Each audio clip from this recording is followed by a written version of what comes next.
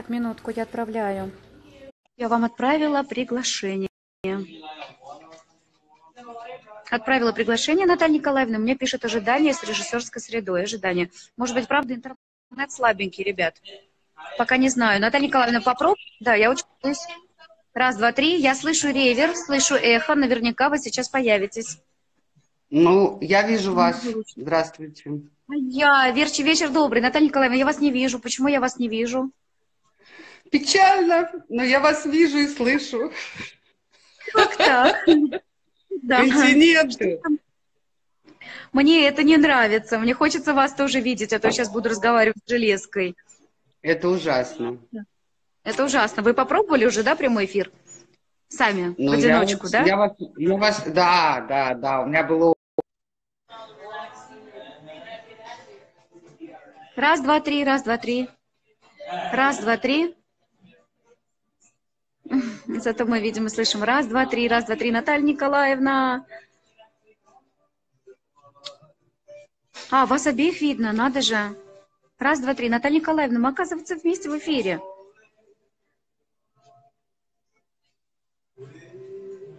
Эх, опять. Все, опять вылетело, опять пропало. Эх. Ребят, наверное, да, наверное, просто, судя по всему, интернет может быть слабый, да-да-да, слабый интернет.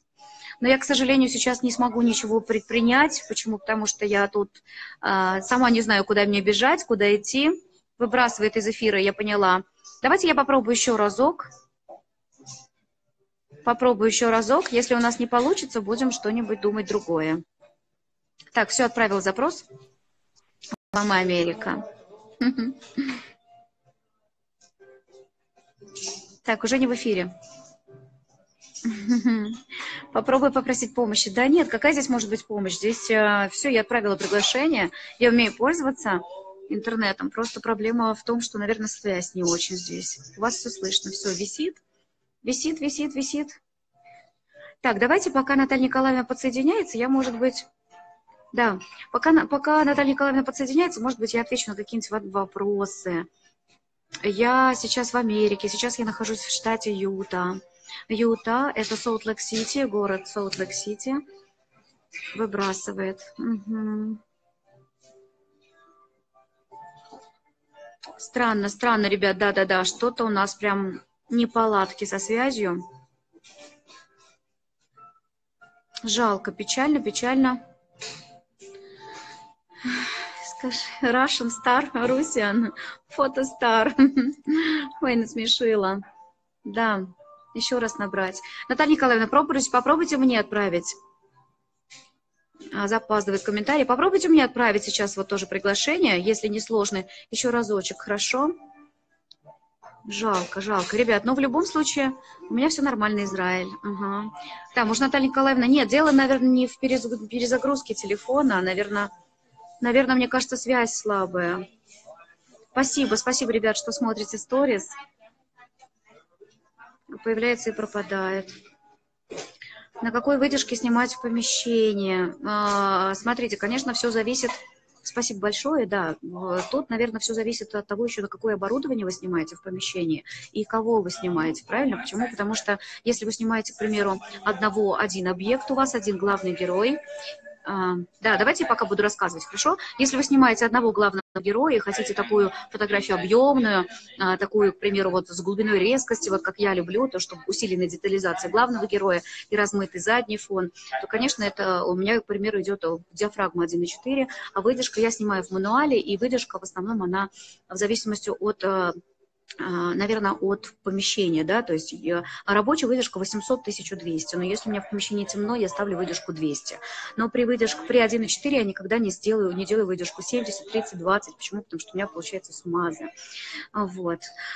А если, в принципе, в помещении темновато, то есть выдержка 200, 1,4, и я поднимаю ISO. Ну, в зависимости тоже от, наверное, от того оборудования, на котором я снимаю. Например, на марке 4, на 85, 1,2, 3000, 5000 я смело делаю, в принципе, неплохая будет картинка. Вот. Если групповой снимок, то здесь, конечно, уже 1,4 диафрагма не подходит, здесь уже выдержка другая. Так, фэшн-съемка, одежда пасмурно, помещение, какие настройки? Фэшн-съемка. А, одежды пасмурно, не поняла, в помещении какие настройки. Наталья Николаевна, вы где? Наталья Николаевна, давайте попробуем еще разочек. А, я не знаю, куда нажать, чтобы я попросил прием. Сейчас я пробую. Минуточку. Так, ребят, я попробовала еще раз, еще разочек отправить Наталье Николаевне запрос. Иришка, Ириша, привет, я тебя вижу, я так рада вам всем. Привет, привет. Вот знаете, чего не хватает в Америке? Это друзей, своих родных и близких. Вот не хватает. Все здесь хорошо. Ура! Ура, Наталья Николаевна, ура, ура, ура. Я не могу громко кричать, но я очень счастлива. Я увидела. Ура. Все, я вас вижу, да. Это большое Все, счастье. Ура. Все, супер здорово. Ура. Ребята, мы в эфире. Все, хорошо. Сейчас посмотрим, плюсики ставят, не ставят ребята. Но я думаю, что все видно. По крайней мере, по крайней мере, я вас вижу точно. Это уже ну, прекрасно. Рассказывайте, как у вас дела. Я посмотрела у вас в эфире. Ребят, мы просто обещали с Натальей Николаевной делать периодически такие вот эфиры, хотя бы там, а, ну, пару раз в месяц, да, но что-то полезное, с, с пользой, да, интересное. Так что задавайте вопросы. Да, не шевелимся, все работает, все работает.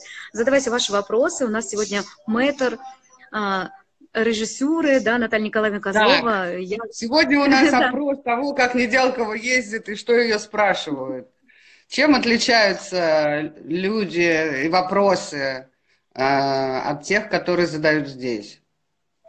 А, публика вы имеете в виду? А, ученики, студенты? Да, да, да. Наверное, ничем не отличаются, они везде одинаковые. То есть я думаю, что вопросы, что вот я, к примеру, в Китае проводила урок, в Бразилии проводила урок, да, Европа и наши города России, Америка, один, одни и те же вопросы. У всех боль одна и та же. Как попасть в резкость, как сделать так, чтобы не было шевеленки, как сделать красивую картинку, как добавить вишенку на торт, чтобы, ну, чтобы она была вкусной, красивой, но еще красивее, потому что а, ну, к примеру, я могу сказать, по стилю съемки в Америке любят такой стиль, как вот у меня, такой сказочные фотографии.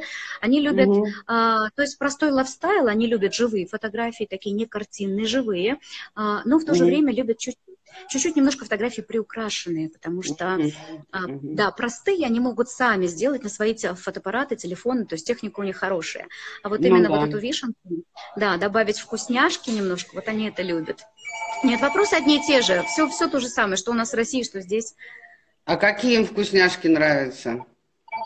Вкусняшки. Вкусняшки, э, вот, наверное, больше в обработке. Всех интересует обработка.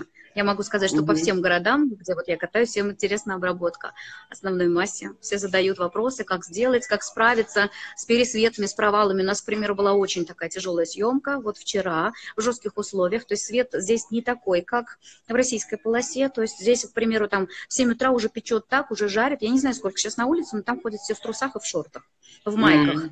Угу. Да, на улице жарко. И, к примеру, когда мы снимали в 12, там, в 2 часа дня, то есть это очень тяжелый свет, но, в принципе, с этим абсолютно можно спокойно справиться. Я этому обучаю угу. на своих уроках. Они вот. делают постановочные фотографии какие-то? Они делают, да, делают. Постановочные ну, делают, да. Такие рекламные, да?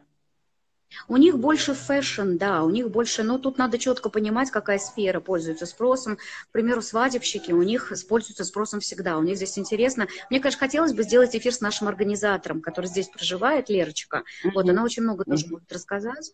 У них, они делают предсвадебную такую съемку, она у них, как называется, обручение, да, то есть а, в, mm-hmm. в среднем ну, здесь очень много всего интересного. Мне, конечно, хотелось бы прям такой вот большой-большой какой-нибудь эфир именно по Америке, рассказать, как здесь работают фотографы, как они живут, как они, а сколько они здесь зарабатывают, что они сдают. Это, конечно, немножко разница не такая. Мне кажется, разница это было бы очень интересно для всех, да. Если бы вот э, вы могли это сделать, мне кажется, что не знаю, что там народ пишет, поскольку я не вижу, вот. Но мне кажется, mm-hmm. что это было бы для всех очень интересно, потому что это какой-то обмен и свежий воздух. Опытом.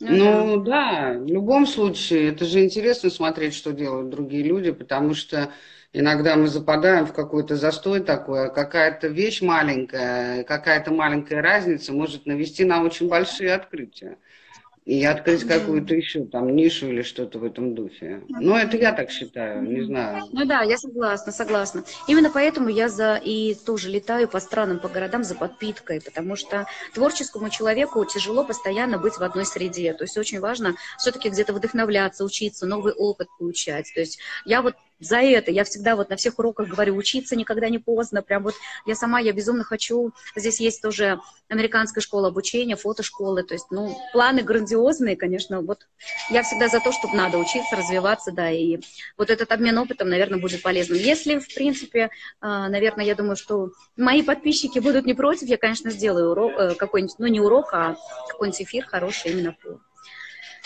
Хотим ну, такой да. эфир, пишет. Что? Да-да-да, пишут, я вижу комментарии немножко, ребята пишут, да, что интересен был бы такой эфир, да-да-да. Угу, угу. Это Наталья интересно и важно, да. Угу. А, я просто думаю, может быть, ребятки, да-да-да, пишут, хотим, хотим.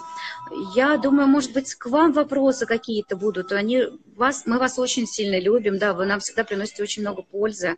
Спасибо. Да, ребят, я по Америке, да-да-да, по Америке обязательно расскажу. Давайте, может быть, вопросы к Наталье Николаевне сегодня. Еще помучаем ее немножко, пока есть такая возможность.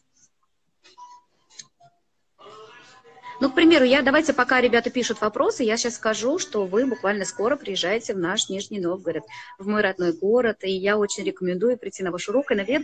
наверняка все-таки мы с вами обнимемся, наконец-то. Да, это уже такая... Смотрела у вас... Да, смотрела у вас афиши, у вас тоже сейчас и Испания, да, и, по-моему, Франция, да, или еще где-то тоже какие-то какие страны, да? Расскажите немножко о ваших будущих путешествиях. Как вы выходите из зоны комфорта? Как я выхожу из зоны комфорта? С трудом.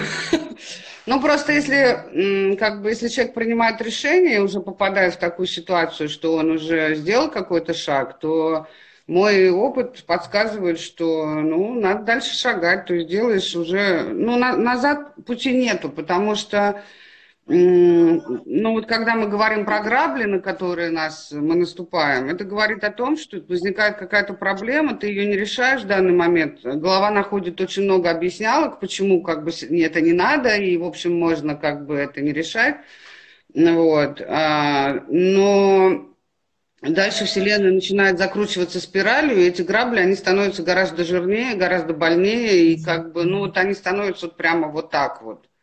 И когда ты оттягиваешь это, ты просто делаешь свои грабли сильнее. И здесь вопрос, как бы, кто сильнее, человек или грабли. И поэтому, выходя из зоны комфорта, из нее нужно решительно выходить. Это то, что я могу сказать по своему опыту. Другого не дано. Ты либо решаешь ну это, либо ты уходишь на какое-то время, но ты понимать должен, что это обязательно принесут, и это обязательно будет еще хуже. Ну да, да.